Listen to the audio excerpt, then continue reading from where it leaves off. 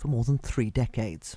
I do believe she completely fell in love with him during the first phase um, of their relationship.